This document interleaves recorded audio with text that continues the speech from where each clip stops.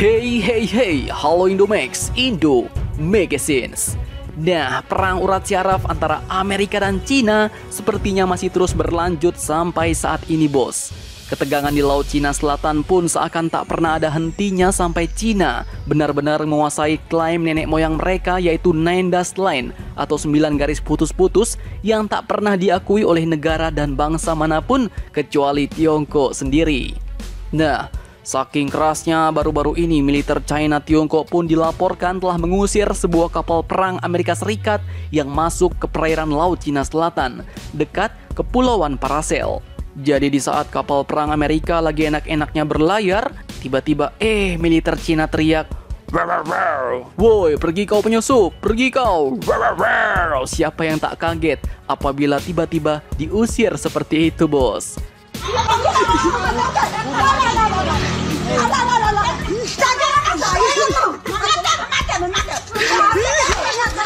Hal ini pun menandakan bahwa China Tiongkok semakin mengencangkan otot militernya untuk memperkuat klaim wilayah historis nenek moyang mereka itu. Padahal, Kepulauan Paracel sendiri juga diklaim atau dimiliki oleh negara lain yaitu Vietnam. Nah, lantas kapal perang apakah sebenarnya yang diusir oleh Tiongkok ini? Dan bagaimanakah tanggapan Amerika setelah diusir?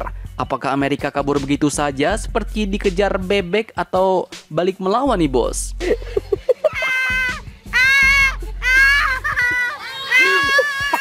Oke, di pertengahan video kita bahas Oke, kemudian kita lanjut ke berita keduanya dulu. Kini ternyata perebutan wilayah antara tetangga kita Filipina dengan China di Laut China Selatan masih juga belum kelar-kelar sampai saat ini. Bahkan sekutu lama Filipina yaitu Amerika pun kali ini mulai mencak-mencak dan menyatakan siap pasang badan melawan China jika China berani-berani menyerang militer Filipina di Laut Cina Selatan. Ibarat kata Amerika bilang kepada China, Berani kau sentuh Filipina? Skui, kita baku hantam. Nah, mengapa Amerika getol mau melindungi Filipina? Jawabannya ternyata adalah mereka telah terikat dengan suatu perjanjian suci. Perjanjian apakah itu? Apakah perjanjian pernikahan? Setelah ini kita bahas, bos. Kemudian kini berita ketiganya yang mulai sedikit panas. Ternyata pangkalan militer Cina di Laut Cina Selatan kini dikatakan telah benar-benar beroperasi. Bahkan yang agak joroknya sedikit nih, negara Tiongkok ini pun disebut-sebut sering buang tinja di Laut Cina Selatan. Wah, buang tinja positif aja nih bos. Mungkin itu sebagai sumbangan atau sedekah buat kaum ikan-ikan duafa yang miskin dan kelaparan di Laut Cina Selatan. Oke, serius. Bagaimanakah beritanya? Oke, kita bahas satu persatu mulai dari awal bos.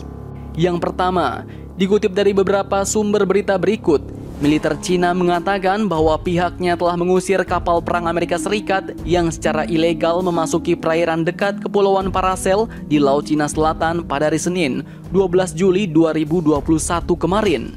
Tak main-main bos, kapal perang yang mereka usir ini pun adalah kapal perang USS Benfold yaitu sebuah kapal destroyer canggih Arleigh class yang dilengkapi dengan sistem tempur Aegis dan kemampuan anti kapal permukaan, anti pertempuran udara dan anti kapal selam. Komando Militer Teater Selatan Cina ini menuturkan bahwa kapal perang USS Benfold memasuki perairan tanpa persetujuan negeri Tiongkok Cina. Menurut Beijing, hal itu secara serius melanggar kedaulatan Cina dan merusak stabilitas Laut Cina Selatan. Nah, walaupun telah diusir mundur, namun Amerika pun tak kalah gertak nih bos. Perang urat syaraf pun dimulai lagi. USS Benfold pun menegaskan bahwa pelayaran yang dilakukan sudah sesuai dengan hukum kebebasan bernavigasi di perairan internasional. Bahkan, mereka juga menolak klaim Cina yang mengatakan bahwa itu adalah pelanggaran serius. Nah, itu tadi antara Amerika dan Cina, bos. Kemudian kita lanjut masuk ke Filipina di mana baru-baru ini diketahui bahwa Amerika Serikat telah pasang badan untuk Filipina jika China berani-berani mengganggu militer Filipina di Laut Cina Selatan. Hal ini pun terkait dengan suatu perjanjian antara Amerika dan Filipina.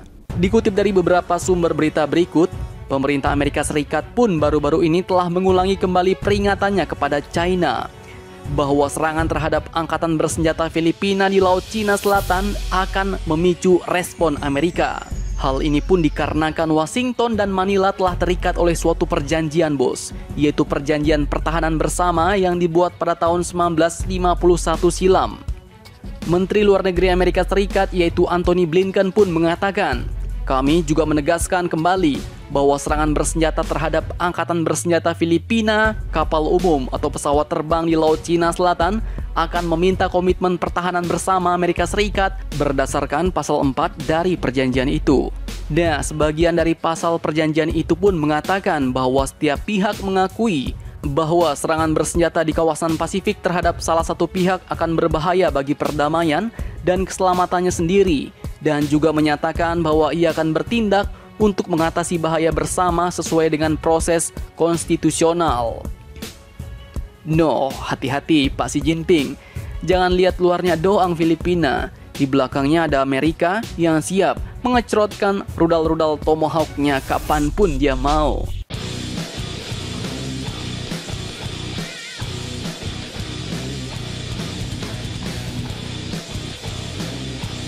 Oke, selanjutnya pangkalan militer Cina di Laut Cina Selatan pun kini sepertinya sudah mulai beroperasi sepenuhnya nih bos. Bagaimana tidak? Baru-baru ini, militer China diketahui telah mengerahkan pesawat peringatan dini dan pengawasan elektronik serta helikopter di dua pulau yang disengketakan di Laut Cina Selatan. Dan menurut para pakar militer atau analis, ini adalah tanda bahwa tentara pembebasan rakyat China telah memulai operasi udara rutin dari pangkalan militernya. Nah, ASEAN wajib siap-siap nih bos. Gambar satelit yang diperoleh The Washington Times menunjukkan penyebaran pesawat peringatan dan kontrol udara China yaitu pesawat KJ-500. Pesawat ini pun disebar ke Mischief Reef di Kepulauan Spratly pada bulan Mei dan Juni kemarin. Foto satelit lainnya menunjukkan penempatan pesawat angkut Y-9 dan helikopter Z-8 ke Subi Reef pada bulan Juni dan bulan Juli ini. Dan pada tahun 2020 kemarin, pesawat tempur anti kapal selam KQ-200 Cina pun juga dikerahkan di pangkalan pulau ketiga di Ferry Cross Reef. Tak main-main bos, pangkalan tersebut pun dapat menampung semua jenis pesawat tempur dan pembom serta memiliki fasilitas docking yang mampu menangani sebagian besar kapal perang Cina. Nah, diam-diam menghanyutkan, kini kekuatan sang naga di Laut Cina Selatan pun semakin kuat. Apakah ASEAN sudah siap menghadapi kemungkinan war besar di masa depan?